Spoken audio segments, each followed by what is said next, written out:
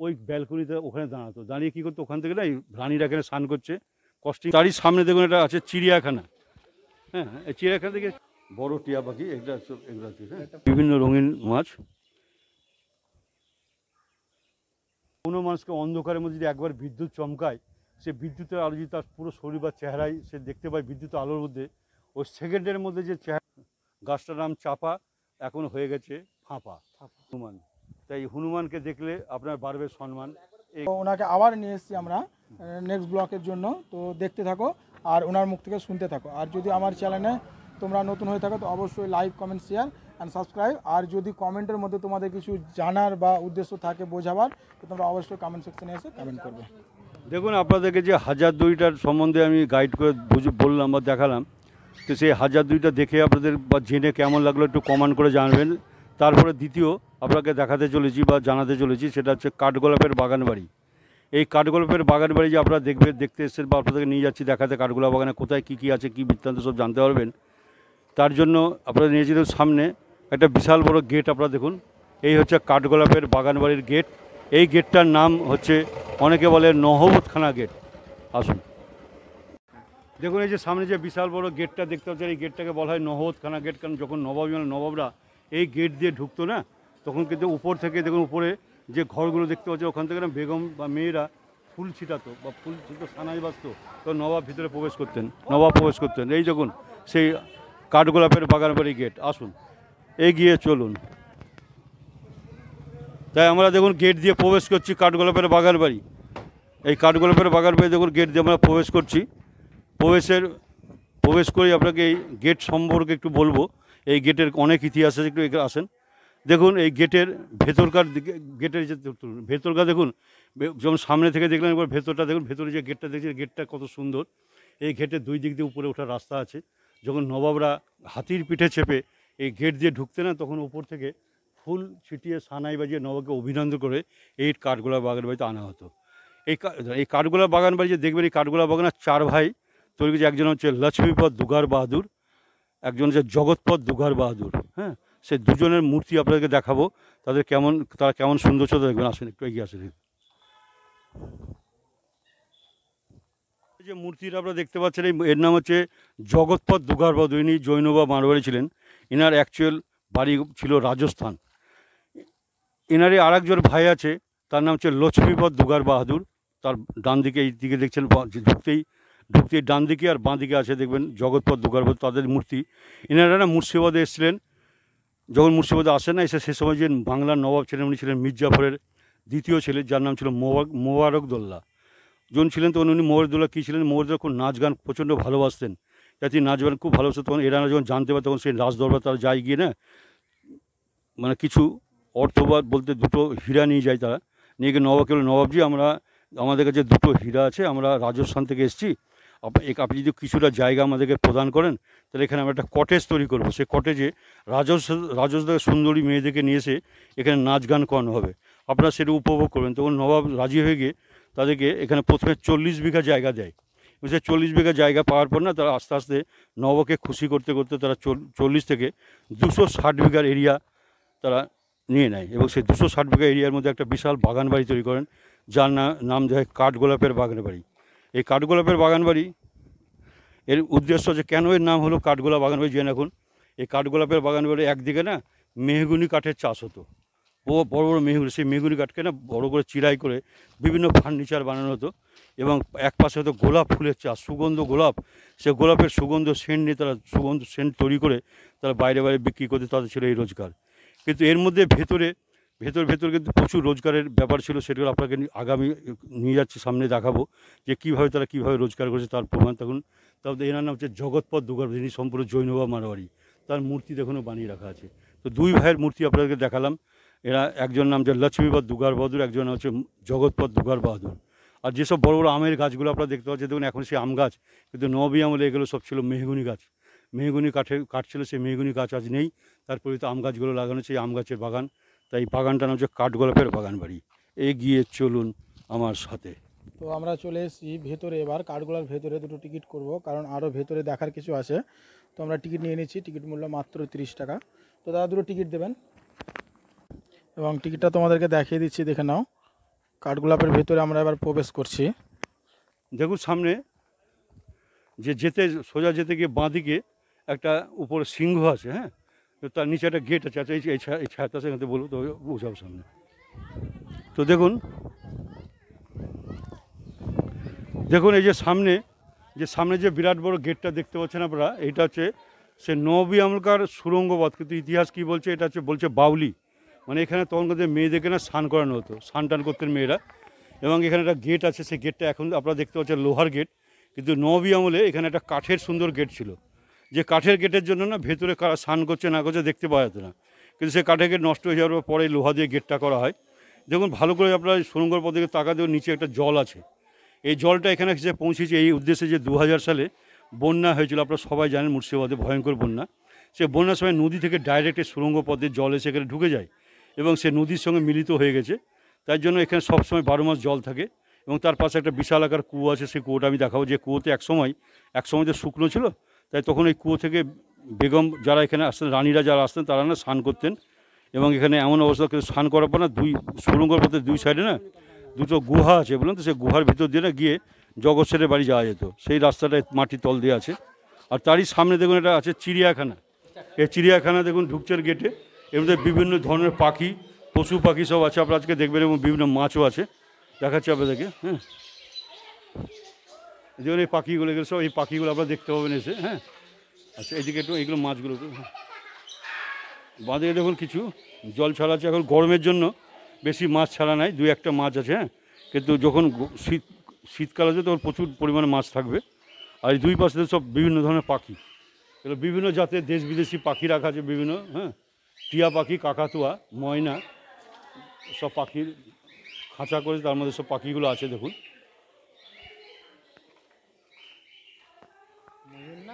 ময়ূর নয় এখানে ময়ূরটা নেই। বড় বড় যখন এই যে লেখা আছে দেখুন এই যে এখানটায় যে পাখি একটা বড় পাখি দেখুন। এই যে লেখা আছে পাখি কোনো খাবার দেবে না এই যে পাখি একটা দেখুন। বড় টিয়া পাখি সব এগুলো আছে হ্যাঁ। হ্যাঁ, নেই, হ্যাঁ। দেখুন এখানে সে তখনকার সে রাজহাঁসের এখানে আগে রাজহাঁসই থাকতো। সে রাজহাঁসের বংশধর এখন পর্যন্ত বেঁচে আছে। আপনারা দেখুন যে ভিডিও করছ তো? তো এই রাজহাঁসগুলো দেখুন, আছে, এই রাজহাঁসগুলো এখানেই থাকে। যখন টাইম হয় তাদেরকে আবার সামনে পুকুর আছে সে পুকুরে ছেড়ে দেয়, ওকে পুকুর থেকে আবার চড়ে আবার এসে থাকে। দেখুন, এই পাশে যেমন দেখলেন, এই পাশে কিছু এটা বন মুরগি বলে নাকি? চীনা চীনা মুরগি। হ্যাঁ চীনা হ্যাঁ পাতলা, চীনা মুরগি। এসব এই যে সব চীনের মাল, চায়না। মাছ।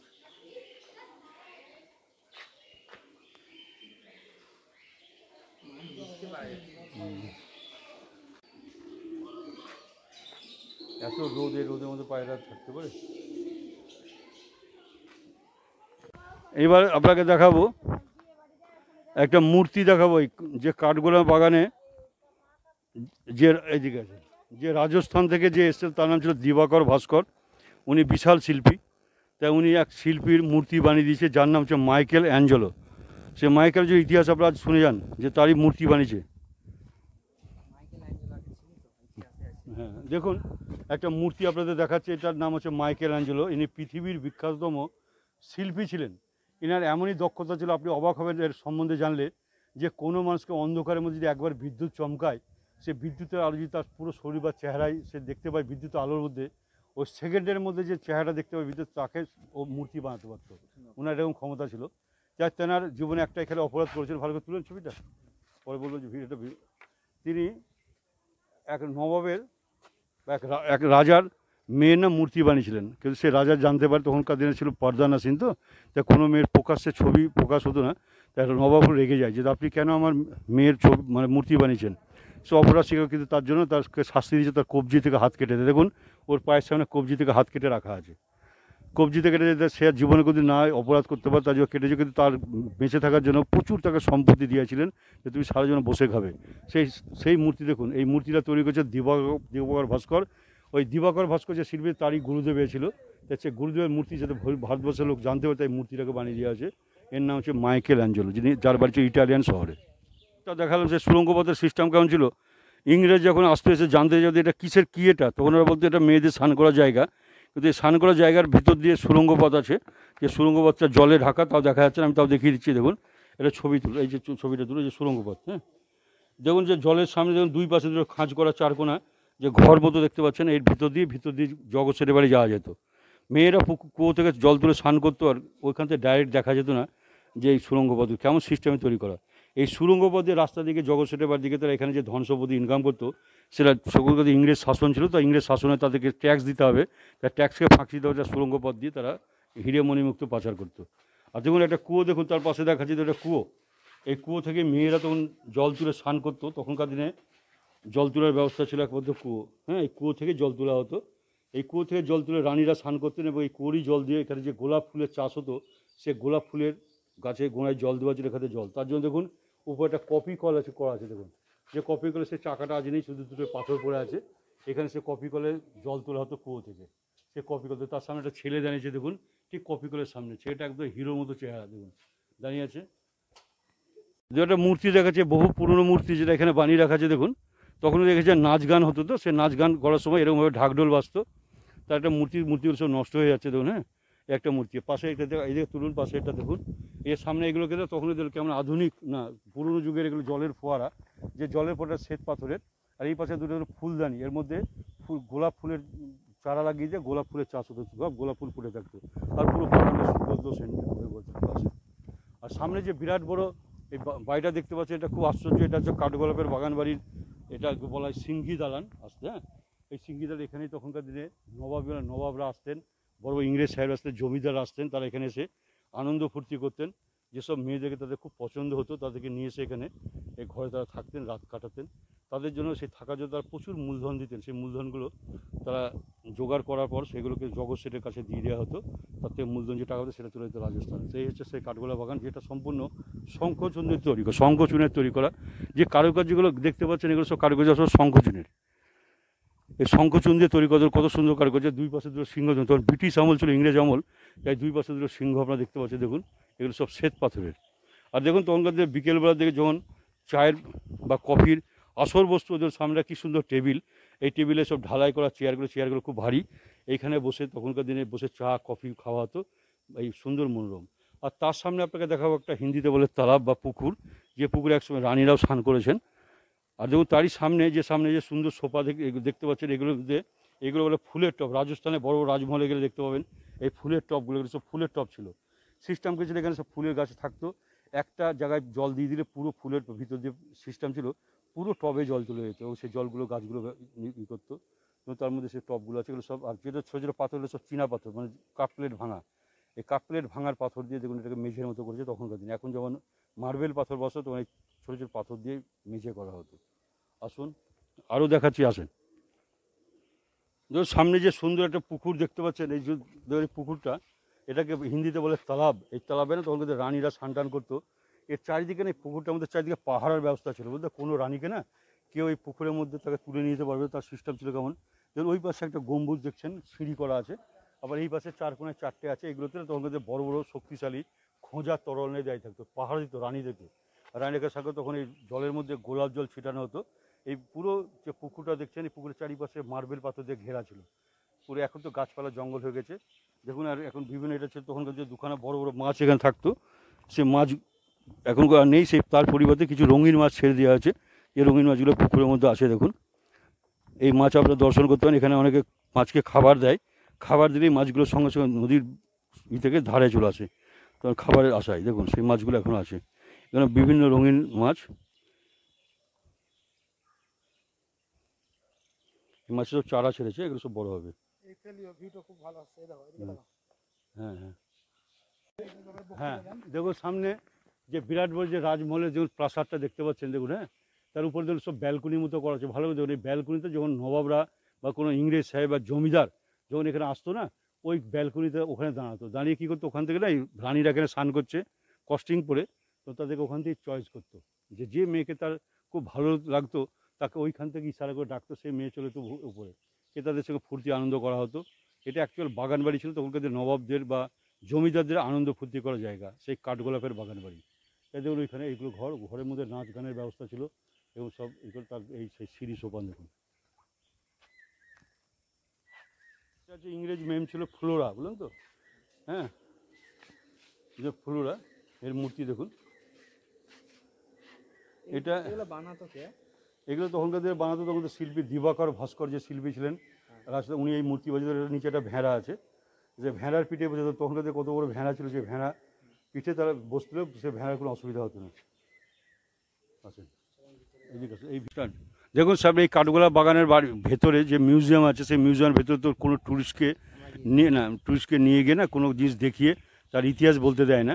মানে ঘরের মধ্যে আপনি শুধু চোখের দেখা দেখবেন। কিন্তু তাই আপনাকে বলি যে আপনাদের দেখতে, দেখাতে পারলাম না? এবং সেটা ভেতরে কী কী আছে এটা বলে দিই, আপনারা অনুভূতি করে এসে দেখে যাবেন।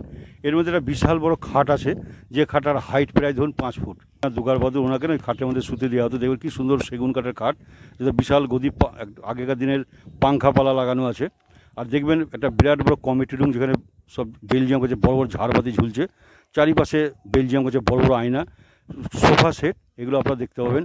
দেখবেন ভেতরে বিলিয়ার্ড বোর্ড এমন দুটো আয়না দেখবেন ভেতর যে আয়নার সামনে আপনি দাঁড়াবেন না আপনি আয়নার পুরো পেছন দিকটা পায়ের ঘোড়ালি থেকে মাথা অবধি দেখতে পাবেন।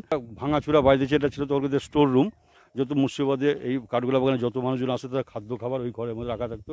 এখন ভগ্ন অবস্থায় ভেঙেছে এটা রিপেয়ার চলছে রিপেয়ার হবে। আর আপনাদের এই পাশে দেখুন একটা সুন্দর যে দেখতে পাচ্ছেন এটা দেখছি এটা তো হ্যাঁ, রান্নাঘর হ্যাঁ? তখনকার দিনে এখানে রান্না বান্না হতো এটা বাবুর্চিখানা এখানে সব রান্না বান্না হতো এখান থেকে খাবার যেত সেটি অনেক কটা ঘর আছে। এই ঘরে বাবুচিরা রান্না করতো। আর এইদিকে আর এইদিকে সাইডে দেখুন, একটা ছোট্ট ঘর দেখুন, এটা ছিল তখনকার সিপাইখানা। এখানে সিপাইরা পাহাড় দিত কাঠগোলা বাগানে যারা আসতেন বা কোনো ডাকাতি, চুরি যাতে না হয়, তার জন্য সিপাইরা পাহাড় সিপাই ঘর। এখন এটা হয়ে গেছে বেঙ্গল সরকারের পুলিশ অফিস।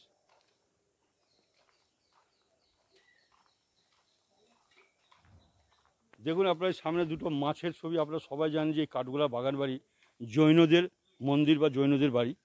জৈনরা এখানে থাকতে তো তারা না, মাছ তো খান না এখানে।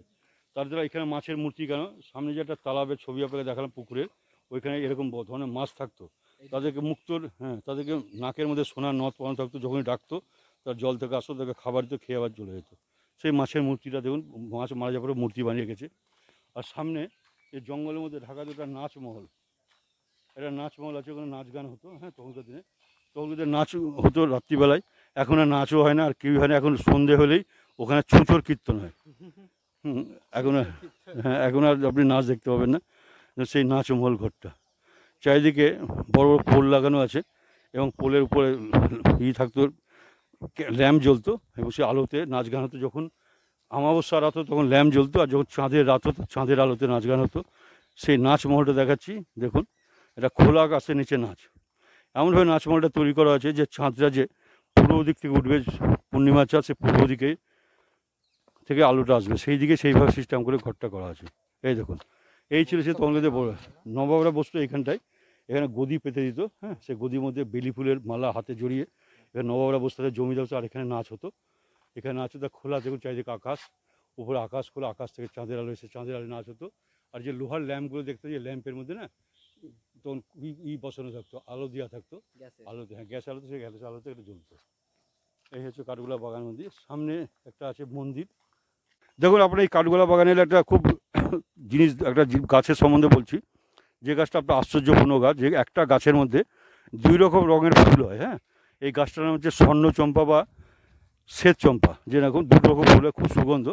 এই ফুল গাছটা না দুই ভাগে ভাগ হয়ে গেছে দেখুন। আসলে আমি দেখাচ্ছি আপনাদের। এই গাছটা তো দুই ভাগে ভাগ হয়ে গেছে। এক পাশে এই যে আপনারা যে এই পাশের দিকটা দেখছেন না? এই পাশের দিকটা দেখছেন? এটা হ্যাঁ এইদিকে সাদা মানে ফুল হবে। আর ওইদিকে হবে কাঁঠাল চা মানে কাঁঠাল রঙের হলুদ মানে স্বর্ণ চম্পা হ্যাঁ? হ্যাঁ, হ্যাঁ। একটাকে তাই দেখুন গাছটা একটাই গোটা কিন্তু দুই দিকে আছে ফাঁকা। এদিকে আছেন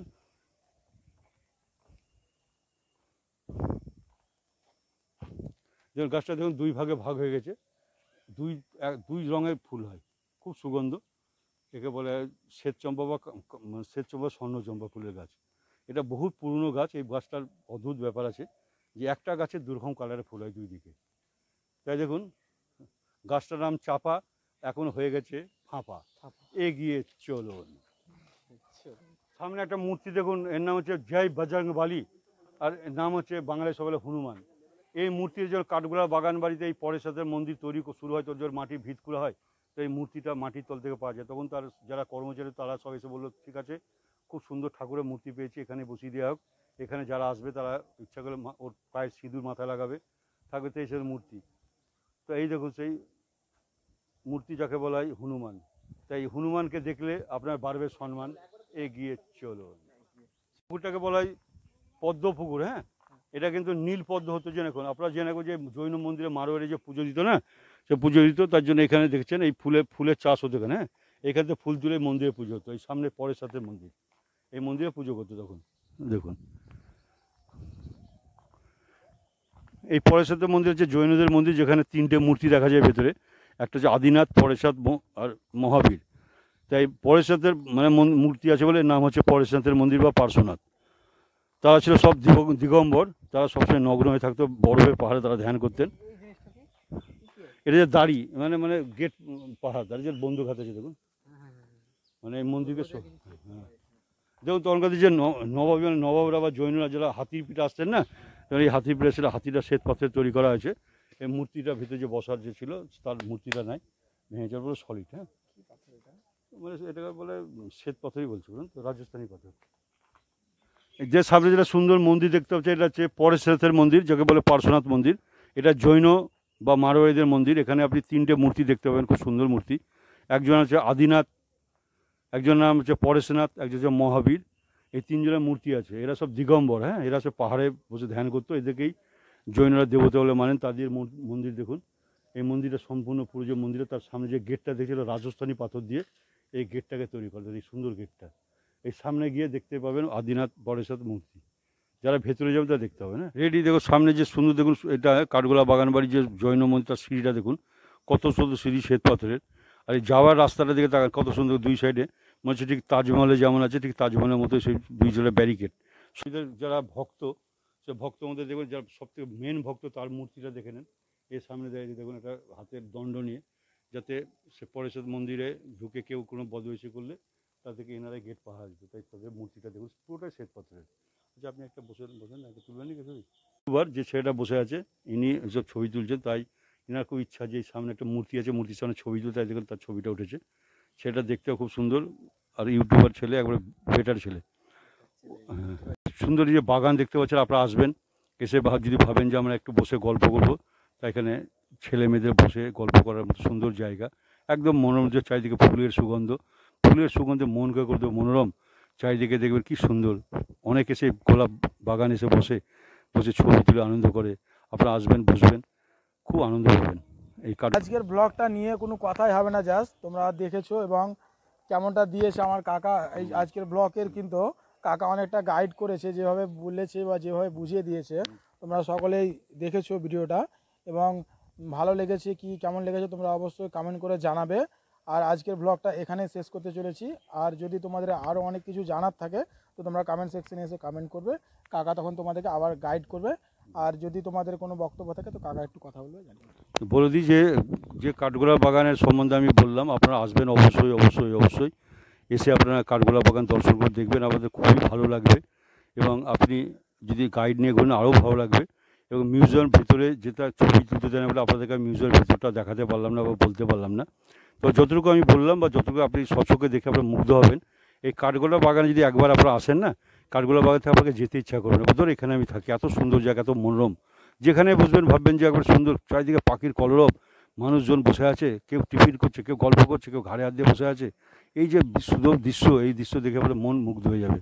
তাই কাঠগোলাপের বাগান বাড়ি মানে বাগান বাড়ি। মানে বাগান বাড়িতে যে মানুষ আনন্দ করে। আর আপনারা তো সব ইয়াং ছেলেপেলে, আপনারা তো আসবেন, ঘুরবেন, দেখবেন, কোনো ব্যাপার নেই। আর এখানে কোনো অসুবিধা নেই। খুব সামান্য টিকিটের রেট, খুব অল্প পয়সা। চারিদিকে করে এখানে আপনি ভেতরে সেই সময় আসবেন সিজনে খাবার দাবার সব পাবেন, কোনো এরকম কোনো অভাব থাকবে না। এই বলে ধন্যবাদ জানিয়ে আমি এই গাইডের ব্যাপারটা একটু শেষ করলাম। আপনারা অবশ্যই আসবেন অবশ্যই আসবেন অবশ্যই আসবেন। এই কমেন্ট এই কমেন্টে শেয়ার করবেন শেয়ার দেবেন হ্যাঁ লাইক দেবেন। এটাই আমরা আপনাদের কাছে আশা করি। থ্যাংক ইউ ব্লগটা এখানে শেষ করলাম। তোমরা দেখতে থাকো, দেখো বাংলা।